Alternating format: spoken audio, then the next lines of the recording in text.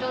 可以帮我们讲一下，就是现在台北市府私下先裁决，然后进一步的证据嘛？那民进党现在还批地方慢半拍。呃，其实过去我们看到民进党的立法委员哦，刻意的去带风向，而且是用错误的时间序哦，去抹黑台北市政府，说台北市政府的动作是慢半拍。但是实际上面，我们回头看哦，其在三月二十四号，台北市政府收到通知，也是当天中央就得知这个讯息的时候呢，其就到这个宝林茶室去做了裁剪。那包含是食材的部分呢，采样，还有环境的部部分。也很认真的做了采样，大家可以看到，这是当时采样的时候所拍的照片，这是呃厨师的手的这个反面哈，正面，然后这个是反面啊，好，然后呢还有包含是这个是砧板的采样也有做，然后呢这是当天的厨房。的卫生环境情况的各个地方也都做了采验。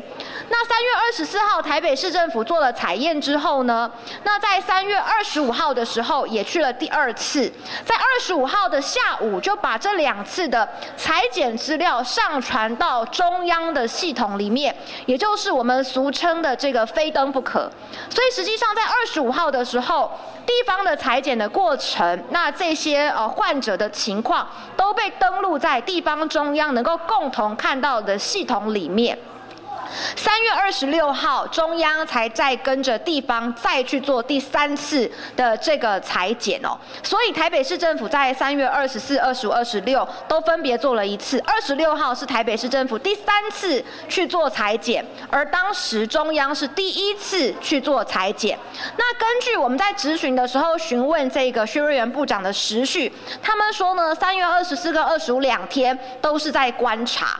好。那接下来呢？三月二十六号，中央去裁剪的东西呢，就赶紧的拿去验了嘛。那也跟彰化基督教医院取得了这个米硝酸菌的标准品，开始检验。可是到目前为止，什么都没有验出来。那地方就发现说呢，三月二十四号，因为有做这一些的环境裁剪，那也希望能够去检验。那在台北市当然也不可能会有标准品的情况之下，就发现说台大医院可能会有。好，所以呃，当我们的卫生局长，台北市的卫生局长打听到台大医院可能有米硝酸菌的标准品的时候，就立刻联系，然后呢，提供我们在三月二十四号所去检验的环境。那希望能够去验，看有没有验出米硝酸菌。好，所以在三月三十号的时候，台北市政府就提供了相关的环境的采样，给了啊台大医院。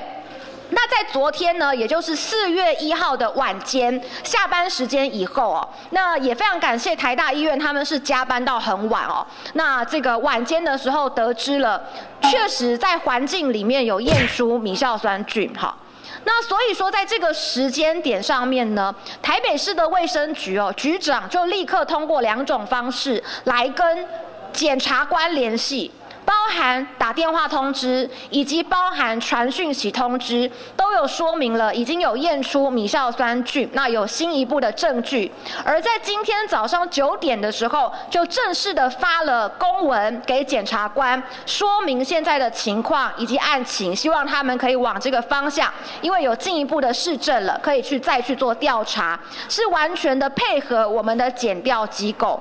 对，所以第一个事情是过去。民进党不断的透过他们的政治人物对台北市政府进行恶意的扭曲、造谣时序，说台北市政府三月二十六号慢半拍。可实际上，如果不是三月二十四号就按照应该要有的 SOP 去进行裁剪的话，今天那验不出来，也没有进一步的证据，只能像中央现在的说法一样，继续用猜测的。那请问剪掉该怎么往后调查呢？如果没有新的市政的话？好，第二个部分是三月二十号、二十四号、二十五号两天，其实中央都只是在观察，二十六号才去。跟台北市政府共同稽查，那我比较好奇的是哦，这个部分可能要由卫福部来回应，就是说二十六号裁剪以后，那包含环境的部分、包含食材的部分都没有验出来，可是我们从中央的通报系统里面就得知，台北市政府在三二二十四、二十五号都有去做稽查跟检验，那为什么？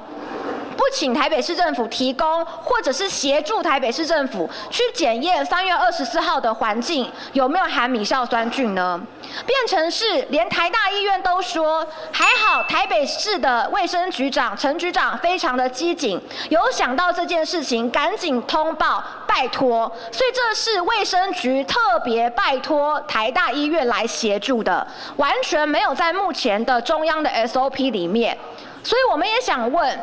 发生这样子的事情，那中央跟地方我们都很希望看到共同来合作，可是怎么到最后还是要地方自己自救？好，知道台大有标准品，赶快拜托他们把三月二十四号检验的验一验。那为什么卫福部其实好几天前就有标准品了，却不验三月二十四号的部分，也没有想到要来跟地方共同还合作这个部分呢？如果有的话，原则上可以早一步验出来。因为我们是，你看那个时序哦，三月三十号台北市知道台大有之后，要求送嘛。三月三十、三月三十一、四月一号，其实三天的时间，非常快的就验出，确实在当时的采样的环境里面是有的。所以如果中央能够积极一点，在三月二十四的时候共同提供协助的话，那是不是不用拖到今天？所以说，我想台北市政府在这件事情上面，不管是检验的 SOP，或是后续的机警性。以及立刻通知检察官，这几个过程当中，其实都是蛮值得大家来鼓励的。那我们也希望有了这个证据之后，能够进一步的调查，到底是在哪个食材里面，哪一包食材里面出了问题，再往后追溯，往下追溯，看看源头到底是哪一个地方。那我们都希望勿往勿重。这个再跟大家说明一次，这个部分来，我先放着给大家拍。所以这个是胡胡姓厨师的手。呃，是哪一姓我不不敢跟你现在确认，但是但是这是当天的稽查画面，对，这是当天去稽查的时候所检测的手，嗯，然后因为我们在检测之后都要拍照存证，所以有这一些内容，那这上面是有验出的，好。所以这照片是卫生局这边提。呃，我去向台北市政府去询问的，对，然后在这个部分是在另外一张是砧板跟这个呃当时的厨房环境，那砧板上也是有验出的。所以我觉得您您您目前了解的是手和砧板有验出来，那还有其他的环境有